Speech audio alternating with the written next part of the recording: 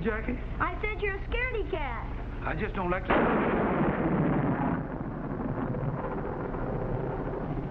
Boy, that was a good one.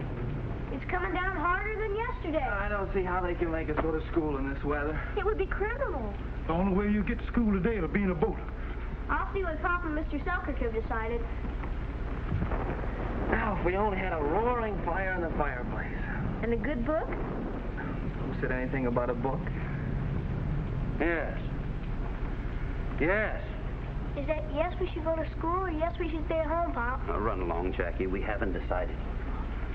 Stand by while I talk to Erwin. Clark and Ogilvy are for closing down. Patterson thinks the students will get wetter and into more mischief if they don't go to school. What's the latest forecast? Continual downpour. Another storm moving in from the north. Valley Road is now a foot underwater. Oh, that's bad. Most of the children have to cross it. Well, cast your vote, Erwin. Personally, I agree with Patterson. I'm sorry, Mr. Selkirk, but I'll have to side with Clark and Ogilvy. Very well, you call the radio station. Teachers and pupils are waiting for an announcement. Right. No, no, we haven't heard. Please stay tuned to KRXV, the station of your favorite newspaper, The Morning Sun.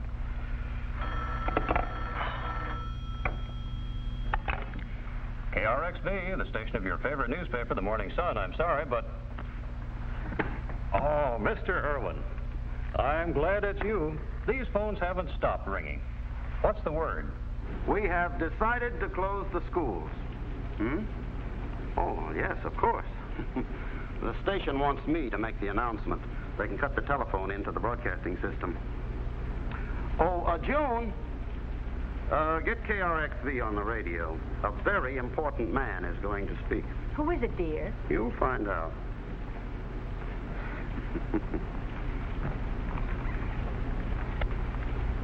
Ladies and gentlemen, station KRXV now brings you the voice of Mr. Stuart Erwin, the principal of Hamilton High School. Quick, Joyce, come here. Your father's going to be on the radio.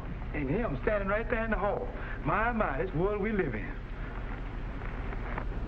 Ladies and gentlemen, the school system of. Lay it on, Pop. We may have another Arthur Godfrey in the Uh, family. Jackie, please. This is a serious matter. Our school system holds the enviable record of never being closed by either epidemic or climatic condition. We're cooked. Listen. But today, as much as we regret the move, the schools will be closed. Quiet, everybody, please, please. I trust that this emergency will not be treated as a vacation. In fact, I have a special assignment for all of my students at Hamilton High. You are to turn in essays entitled How I Spent a Rainy Day. Homework? Gee, Daddy, that isn't fair. Oh, Joyce, please, not so loud. Please, Mr. Erwin, may I interrupt? With your permission, the Morning Sun would like to make a contest out of the How I Spent a Rainy Day essays. We will not only publish the winning essay, but we'll give a $100 first prize. Boy, can I use a hundred bucks? Thank you, Mr. Blake. I'm sure that all of the students will want to enter the contest. Are there any special rules, Mr. Erwin? None, except that I believe the essay should be factual. For example, one student can write about how he was a good neighbor, another how he gave a stranger shelter from the storm, things like that. So go to it, students, and remember you are all reporters working for the Morning Sun. And thank you again, Mr. Blake. Goodbye. Mm, that's a very good idea. I still agree with Patterson. They'd be better off in school. So do I. Oh. You know, I think I'll make a poem out of my essay. Yeah, how do you like this? Uh, what is as nice as a rainy day when the parents can rest and the children play? Jackie, where do you think you're going? Out in the rain where something will happen to me. You can't write about nothing, and nothing's gonna happen in the house. You see what I mean, Erwin? I'll say this once, and that is all. You are not setting foot outside the door. But Pop, No, no, no. Oh, yeah. Uh, safe from the lightning, the thunder, the storm, inside a house, all comfy and warm. Yeah, and that hundred bucks just flew out into the storm. Jackie. Fat chance any of us have of winning.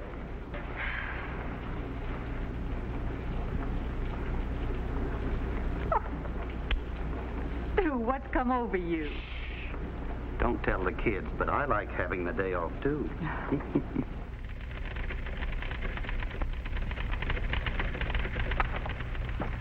The Morning Sun is having a How I Spent the Rainy Day contest. So what are you grinning about? It's a circulation getter. With your permission, Chief, I'd like to write a rainy day letter for the Evening Chronicle.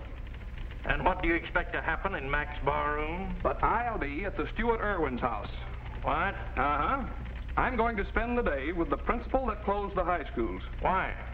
He said something about good neighbors and taking strangers in out of the storm. Well, I'm going to be the strangest stranger you've ever seen and find out how much of a good neighbor Erwin really is. Well, toodaloo, Chief. Uh, saved me uh, this much space in tomorrow's edition.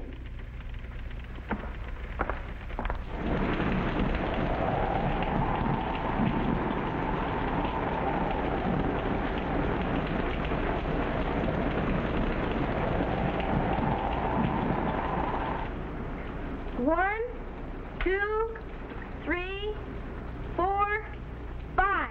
Okay, Willie, plug 'em up. Thanks, Jackie. You sure got that down to a system. Staying home from school isn't as much fun as I thought it would be. That's life, Jackie. Anticipation is always... Sue, David's mother called. She wants to know if the children can spend the afternoon over there. Oh, I don't know. Remember, I said, uh, I know I told her that you didn't want them out in the rain. Well, my mom's worse on that than you are, Mr. Erwin. well, I guess it would be all right. Of course, I just laid the law down to Jackie. I don't care about going, Pop. Nothing will happen over there any more than it will here. Oh, please, Dad, I'd like to go. Well, all right. But you must promise to go straight to David's house. And when you come back, come straight back. I promise. Yeah. Come, Joyce, go get your galoshes and your raincoat. Now, let's see. What were we talking about? Oh, yes, anticipation. I wish I could anticipate something happening. Maybe the roof will start leaking. Jackie! Or maybe the basement will get flooded. Jackie! Or maybe the house will catch on fire. Not a chance in this rain. I just about run out of anticipations. I'll get it, Pop. oh. Yes? Hello, miss. Is there something I can do for you?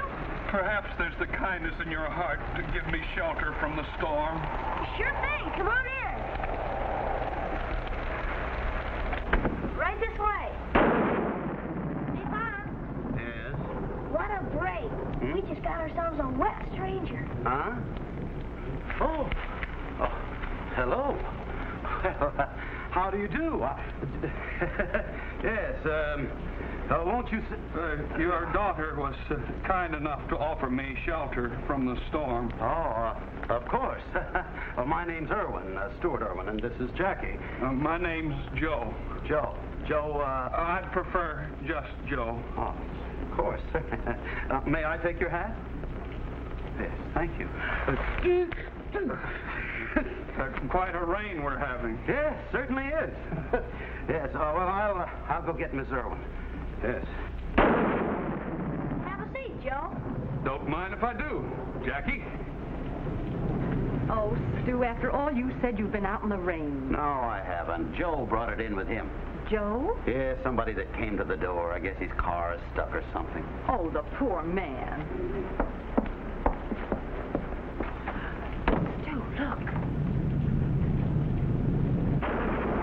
My chair. He's ruining it. Oh, it's just been reupholstered. The rain was still coming down in buckets. I went to the door, and this strange man was standing there. Now, look here. Uh, uh, howdy, Mrs. Erwin. Hello. Excuse me for not rising, but I'm all done in. Uh, look, Joe, the phone is in the hall. If you'd like to call your friends and tell them where you are. And have them pick you up. Yes. Mrs. Erwin, I haven't a friend in the world. Oh. Oh. Oh, that's too bad. Yes, that is too bad. Well, now, Joe, is there anything we can do for you? Y- yes, if you'd be so kind, something warm to drink. Warm. Why, of course. And uh, something dry to put on. Oh, yes. Why didn't I think of that before? You come on upstairs with me. June, make some hot soup. I... Yes, you Right are. away, dear. Yes. Gosh, Mom, isn't this slick? Slick, what do you mean? Well, now I can write an essay about how we took a tramp out of the storm. That isn't a very nice thing to say, Jackie. Sorry, Mom. But if he's not a tramp, I've never seen one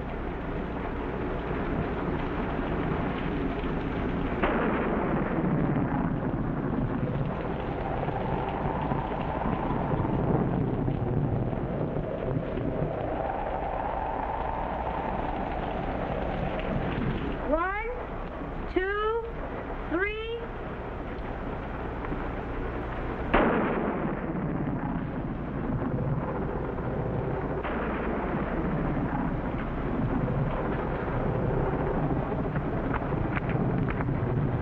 Mr. Joe sure changed.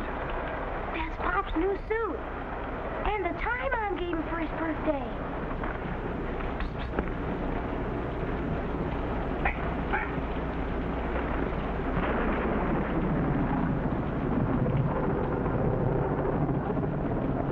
Hey, Jackie. Find out when we eat. I'm starved. Sure, Joe. Take these down and dry them, he says. Something has to be done about that man. Mrs. Erwin, Joe wants to know when are we going to eat. Did you hear that? He's taking over the place. Now, Stu, don't get upset. We can't just turn him out in the rain. No, we can't. Not in my new suit. Hey, Mom, Pop. Come here, quick. Mom, Pop, he seems to think we've adopted him. Oh. So let me reassure you, there is no cause for alarm, but be sure there are plenty of batteries for your flashlights. And have a supply of candles on hand. And remember, even though the power is turned off, this station will continue to broadcast, and your portable radios and car radios will still work. Now, they're going to turn the lights off. There's only one thing I hate wasting than thunder, and that's thunder with no lights on. I sure am glad I won't be out in this storm. Oh. Well, we'd better see if we have plenty of candles on hand. Here, now, let's see. Mom wants two batteries, a dozen candles. Open up that till. Hand me the dough. Hurry it up. Thanks.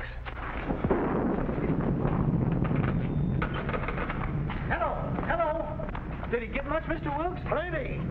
Hello, hello. Oh, I forgot the phone's out of order. Uh, David, please watch the store while I go for the police.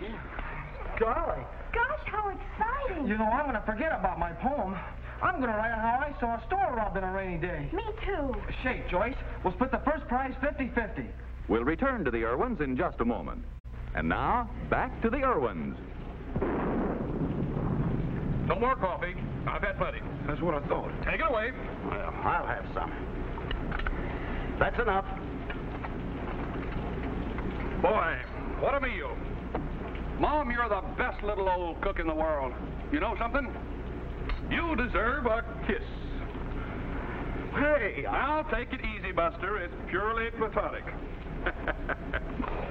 well, I guess I'll go stretch out on the couch and uh, have a snooze. oh. June, we just have to get that man out of here. Who knows? It may rain for days. Quiet, Stu. Maybe he'll go to sleep. That will be somewhat. Please, Pop, may I use the car radio to hear my program? Well, for a little while, but don't run the battery down. Take a flashlight, dear, and don't forget your raincoat and rubbers. Sure, Mom. Oh.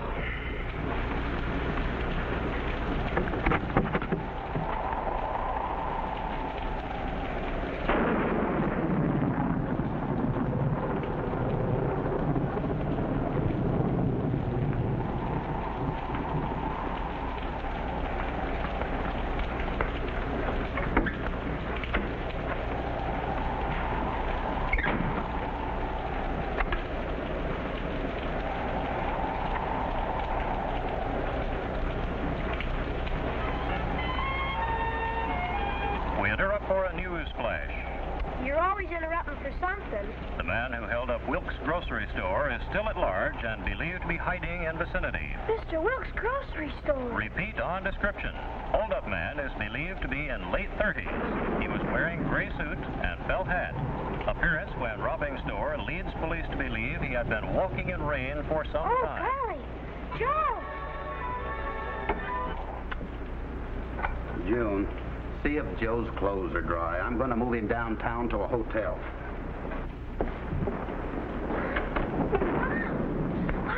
Yes? Mr. Wilkes' grocery store was held up, It was? and the holdup man was wearing a gray suit and a felt hat, and they think he'd been walking in the rain a long time. Do, do- do you think that Mr. Joe Joe is, is the hold-up man? Joe.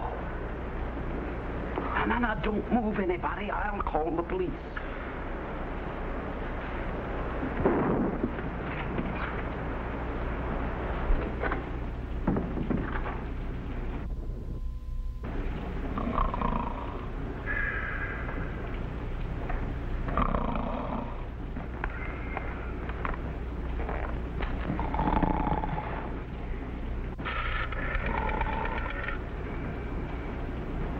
Hello.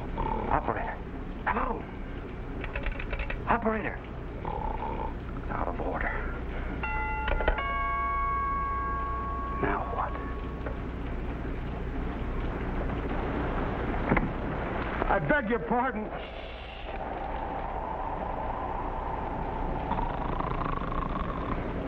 I, I lost my way. Do you think I could come in for a minute and dry off? Welcome, friend, welcome. I was never so glad to see anyone in my whole life. Yeah? Follow me.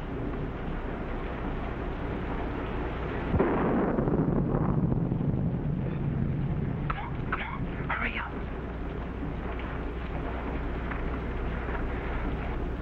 Oh, what's that? The lights just came back on. Come on in, quick.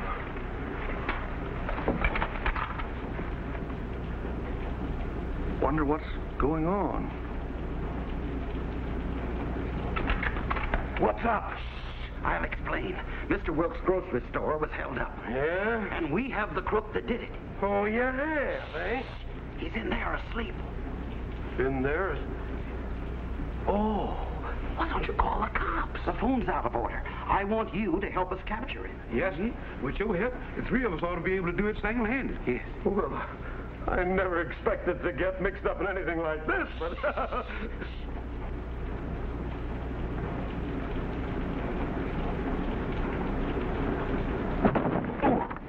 Oh, oh, Joe. Uh, we thought you were taking a snooze. Uh, I, uh, oh, this is my next door neighbor, um, Hank. Hank, um, uh, uh, Smith? Palucci.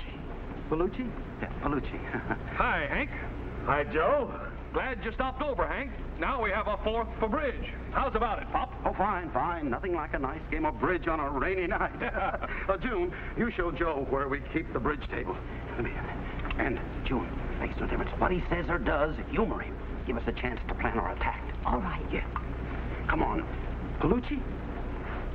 Scaputo.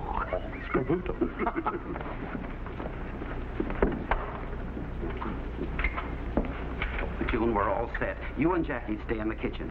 Now, you both know what you're going to do. I got you, Mr. Ernst. Don't forget, we go into action on the word rain. Ray. Be careful, dear. Yes. And you both be careful. Remember, he's wearing my new suit.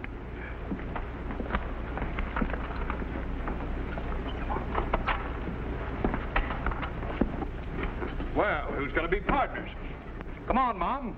You and I will take on Pop and Hank. That sounds fair enough. Let's see how the bridge table is. Got warped last spring. Jackie left it out in the rain. Good. Time on. Come on, time. Look out, Willie. You'll tie me, too. Oh, there we are. Open the door, honey. Yeah, got me. Now, lock the door, Willie. Now, I'll get the car out and go for the police.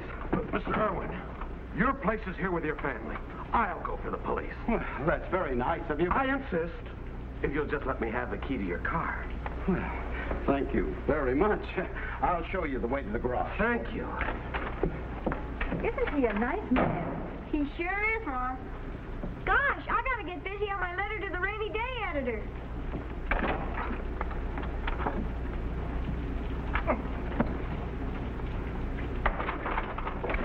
You know how to start it? Oh, sure.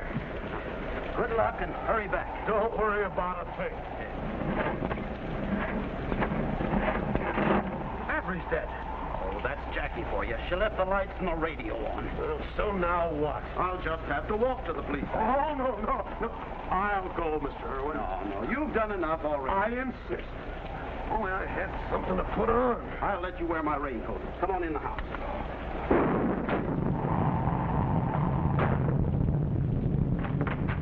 I'll have words with you later. What happened, Stu? Your daughter let the battery run down. Come on.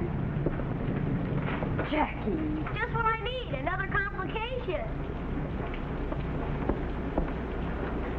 Oh, Daddy, guess what happened? What's the matter with you?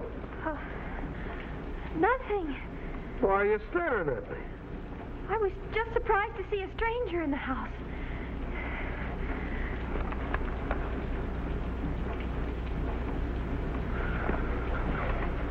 Mother! Mr. Rook's grocery store was held up. We're way ahead of you. And the, the man who held it up is in there. We're still way...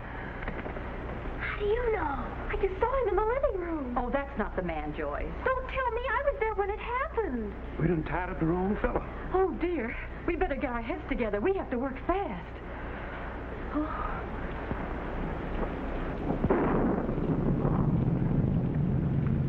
Hey, what's keeping you? Hurry up with that raincoat. Sorry, I'll be right down.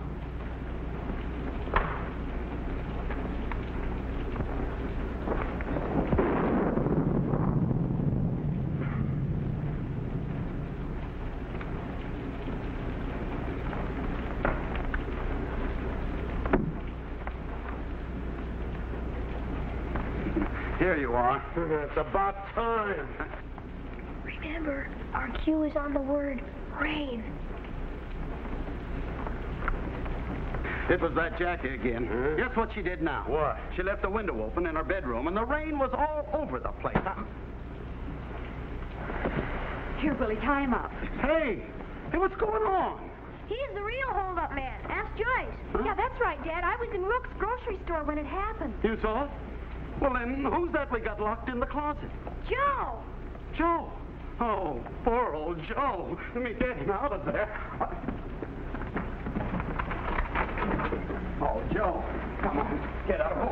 Oh, come on. I'll untie you. Oh, gee, I, I'm sorry we hit you over the head, Joe. Erwin, you'll regret this the longest day you live. But, Joe. Read tomorrow's Evening Chronicle, Erwin. The Evening Chronicle? Why should I read the Evening Chronicle? I... Hey, Joe, my suit. Oh, What a day. What a story! huh? Oh. Here's a blast at our good neighbor Erwin. Now be a pal and don't cut out a word of it, Chief. Anything you say, Joe. You know what they did to me? Hit you over the head with a rolling pin. That's right. And they also. Uh, how did you know that? Then they tied you up and locked you in the closet. Who told you that? It's right here on the front page of the Morning Sun. How I Spent a Rainy Day by Jackie Erwin. And while you were locked up in that closet, the Erwins captured a crook wanted in three states and gave the exclusive story to the Morning Sun. One thing saves you from being the joke of the newspaper gang. I quote Miss Jackie Erwin. We never did find out who Joe was, and I guess we never will. And you say I'm not to cut out a single word? Forget it, Chief. Sometimes it looks like a fellow just can't win.